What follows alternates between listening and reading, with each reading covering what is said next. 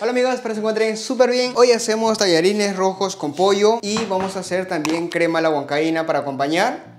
Por este lado tengo eh, pollo ya totalmente limpio. Vamos a utilizar pierna, entre pierna y también pecho. Puedes utilizar eh, incluso pierna nada más. En lo particular, esta parte es más jugosa del pollo. La parte entre pierna, de igual manera eh, que la pierna. Por lo general el pecho es un poquito seco la carne. Esto ya está totalmente bien limpio, bien lavado. Simplemente vamos a pasar a condimentar con un poquito de sal. Por supuesto, bastante pimienta. Y eso de acá simplemente lo vamos a mezclar todo muy bien para llevarlo a sellar ahorita. Ahora sí, esto vamos a pasar a sellarlo.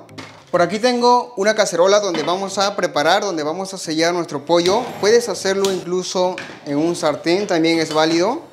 Dejamos que la cacerola se caliente unos cuantos minutos. Vamos a agregar aceite vegetal. En este punto vamos a comenzar a sellar nuestro pollo. Esto ya está previamente bien sazonado.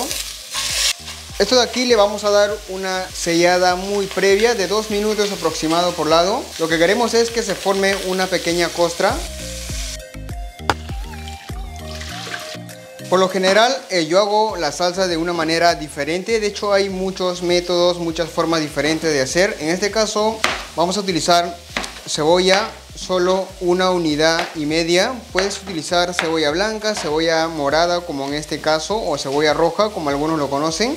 Hacer el aderezo de esta manera se me hace más fácil, más práctico para mí. Vamos a picar la cebolla de este tamaño, no tiene que ser una medida exacta.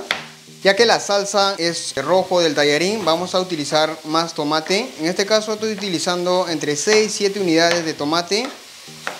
Esto vamos a cortar con todo y pepa.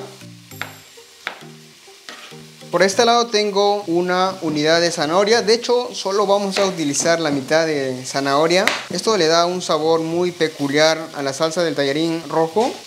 Esto de igual manera vamos a cortar en trozos más pequeños ya que la zanahoria es un poquito dura. Por aquí tengo unos 6-7 dientes de ajos, eh, ya está completamente pelado. Esto simplemente si es demasiado grande lo vas a cortar solo por la mitad.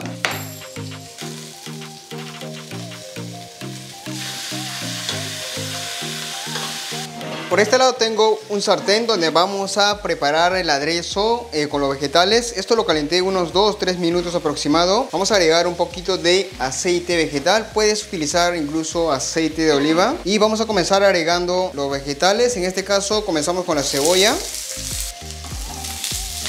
Siempre vamos a comenzar eh, con los vegetales eh, más duros, el que se demora más en cocinar. En este caso también vamos a agregar la zanahoria y por supuesto el ajos. Esto de aquí lo vamos a eh, suazar, lo vamos a dorar, lo vamos a cocinar eh, durante 3 a 4 minutos aproximado a fuego medio. Siempre que hagamos aderezo hay que estar moviendo constantemente para evitar que se pueda quemar.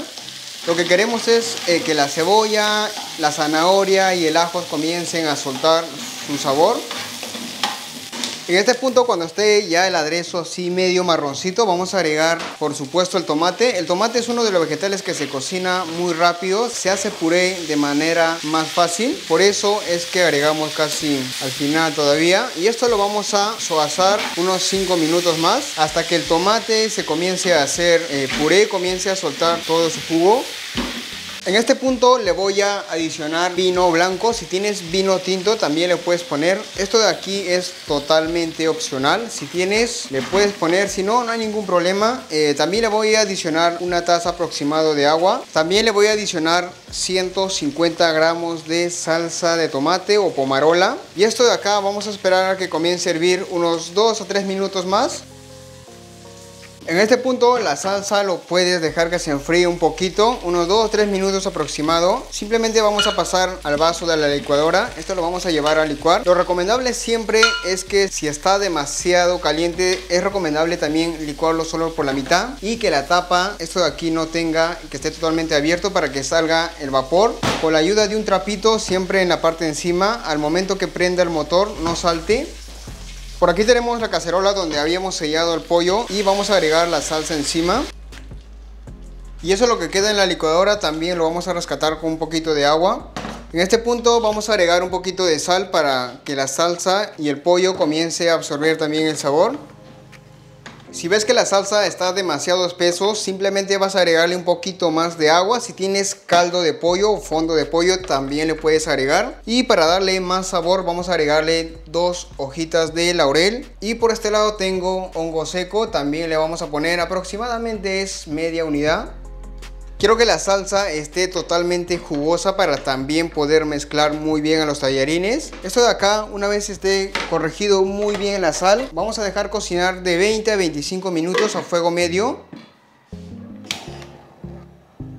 La comida que estoy preparando es un plato que es totalmente bien contundente y llenador. Para acompañar nuestra huancaína también vamos a poner a zancochar papa. En este caso voy a utilizar papa blanca. Puedes utilizar cualquier otra papa y mucha variedad. Esto de aquí lo vamos a zancochar de 15 a 20 minutos aproximado. Esto sí va a depender mucho del tamaño. Para hacer la salsa huancaína o la crema huancaína vamos a utilizar tres unidades de ají amarillo. Esto simplemente vamos a comenzar a limpiar, vamos a retirar las venas, las pepas que tienen la parte de dentro. Esto de aquí lo vamos a lavar muy bien con un poquito de sal si no quieres que pique demasiado. También vamos a utilizar dos pequeños dientes de ajos. Y por supuesto vamos a utilizar también cebolla, un cuarto nada más. Por aquí tengo un sartén donde vamos a saltear nuestro ají amarillo para la crema huancaína. Vamos a agregar un poquito de aceite vegetal. Agregamos el ají amarillo.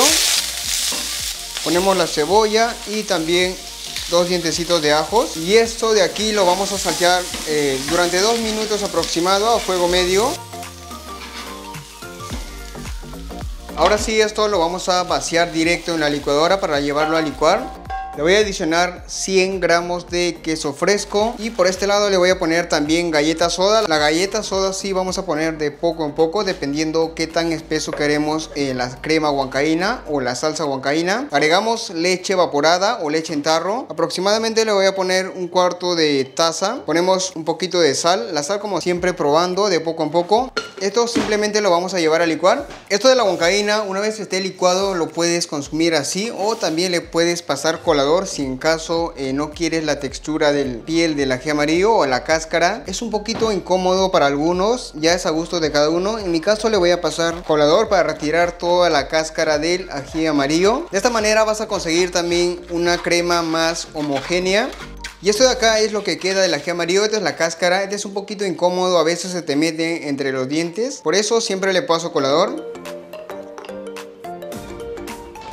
Por este lado tengo una cacerola donde vamos a zancochar nuestro espagueti, nuestra pasta. Puedes utilizar cualquier tipo de pasta. En este caso voy a utilizar espagueti, medio kilo. Esto de aquí lo vamos a zancochar solo por 6 minutos. En la salsa es donde vamos a terminar de cocinar por completo. Vamos a agregarle un poquito de aceite vegetal. Puedes ponerle cualquier otro tipo de aceite. Esto de aquí vamos a mover en el primer minuto para que la pasta no se pegue entre ellos. Por este lado tenemos hierba de la buena, no mentira, es albahaca. Esto le da un sabor muy peculiar a los tallarines verdes. Vamos a agregar unas cuantas hojitas de albahaca. Esto de aquí simplemente vamos a cortar muy finitos. En este punto la salsa con el pollo va a ir viendo ya aproximadamente 20 minutos.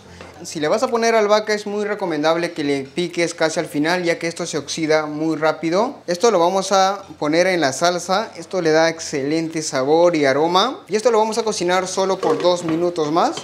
Una vez haya pasado los 6 minutos, esto de acá simplemente vas a quitar el agua o lo vas a colar muy bien. Aprovechando que la salsa y la pasta también esté caliente, en este punto vamos a vaciar nuestra salsa de pollo encima de, la, de los fideos, de los tallarín. Y esto de acá simplemente vamos a comenzar a mezclar muy bien. De esta manera eh, también el tallarín va a comenzar a absorber la sal, va a comenzar a absorber el sabor de la, de la salsa. Ahora sí, pasamos a servir.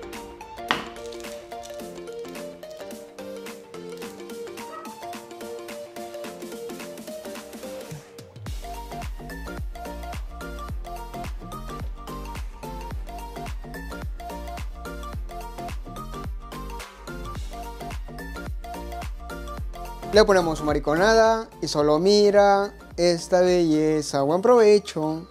Sin duda es uno de los platos súper clásicos en la gastronomía peruana. Y como dijo Monchito con su permisito, vamos a probar, provechito. Realmente está súper jugoso eh, porque tiene bastante salsa, le pusimos. Provechito. Está súper aromático, tiene ese toque muy original que le da la albahaca y está totalmente bien jugoso. Y de igual manera el pollo está totalmente súper jugoso, está muy aromático. Esa combinación de tallarines cremosos, la crema huancaína y la papa realmente está súper bueno. Como siempre amigos, gracias por ver nuestro video. Espero que les haya gustado la receta sumamente fácil y muy sencillo de hacer en casa. Ya sabes que si no estás suscrito al canal, te puedes suscribir. Es totalmente gratis. Activa la campanita para notificarte cada vez que subamos un video nuevo. Cuídense y nos vemos en unos días con un video nuevo. Chau.